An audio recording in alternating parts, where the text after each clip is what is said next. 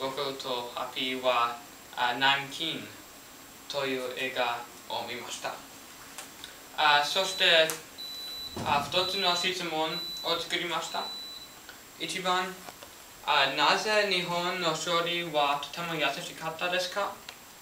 あそして2番なぜ日本は中国に侵入しましたか？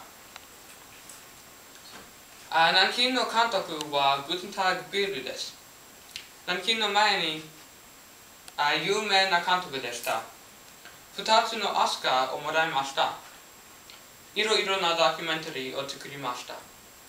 そして、Crime and Punishment というテレビ番組を作りました。あまりアメリカ人は南京大虐殺を知りませんでしたから南京の映画を作りました。